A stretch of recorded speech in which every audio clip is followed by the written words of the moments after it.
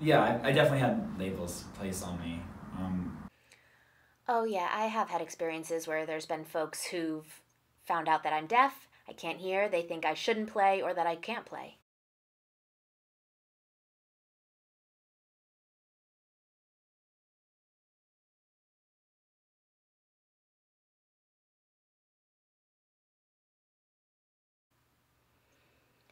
Absolutely. I do believe that's a huge problem.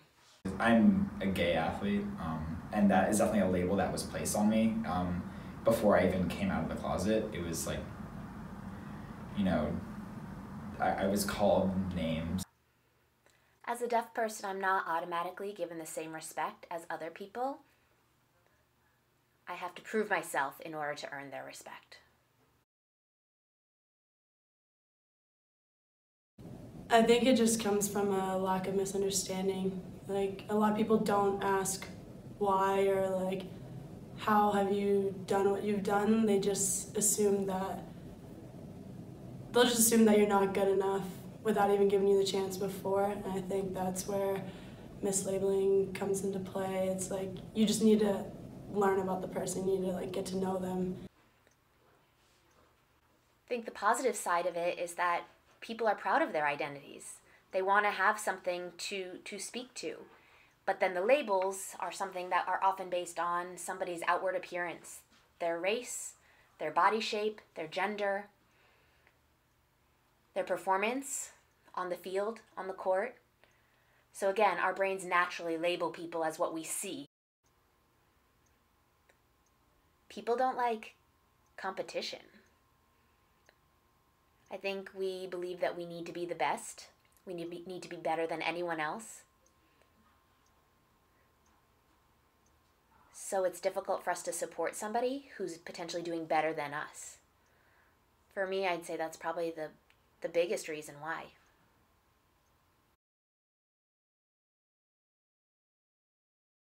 I mean, if you tell a kid they're bad 10 times in a row and you just tell them every single day that they're not good, they're going to start to believe that. And I think that's when it can start to negatively impact them. I think it could go either way. It could inspire a kid and encourage them. They feel that recognition and they're they're motivated to work hard and do as well as they possibly can. For example, I had the support of my family and friends. They saw that potential in me and that inspired me to do the best I could. Now, a kid who doesn't have the same skill level as me could potentially feel insecure as a result of that. But that affected me in my younger years, though. It was like, am I good enough? Can I still compete at the level I want to compete at with my dreams um, and be gay? Because people tell me, you know, maybe you can't. If a child is first exposed to negative labels, that's going to prevent them from building their skills and achieving mastery of their sport it can have a negative effect on a kid because they'll start to believe and internalize the negative feedback they're getting.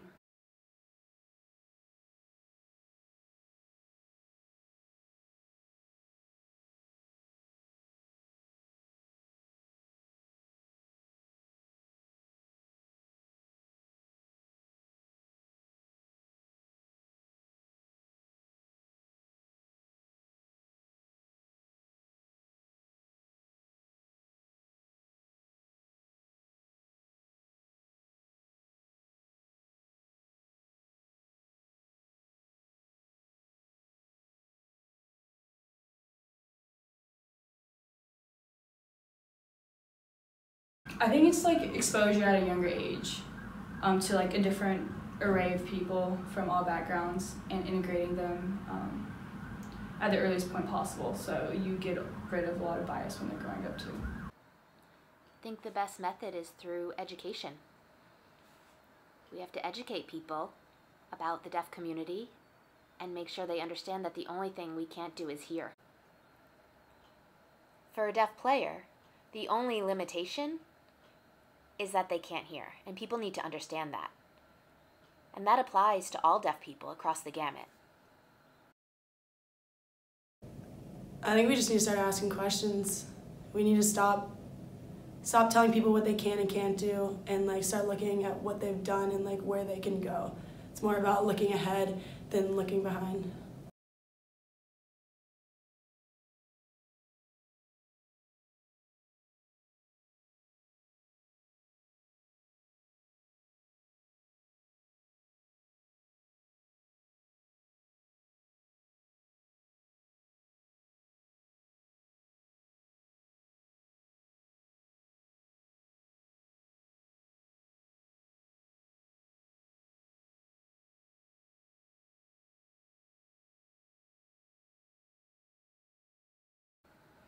I think I have a range of attributes.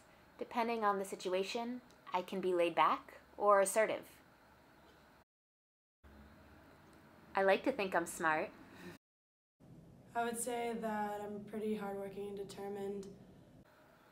As a student athlete or an athlete, I'm determined, I'm committed, I'm constantly seeking to improve my skills and do my best. I leave it all on the court. Once I'm there in the game, I put my heart into it, and I keep my head in the game until it's over. Definitely dedication, sport, passion. I'm a hard worker. I am a hardworking athlete. I think I'm an athlete who's overcome adversity to get where I am. I would say I'm a leader.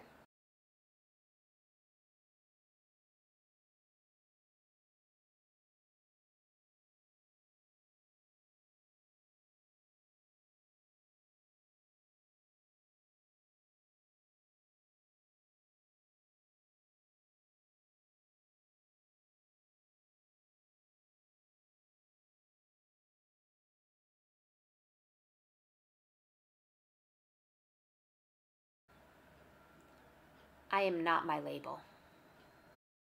I am not my label. I am not my label. I am not my label.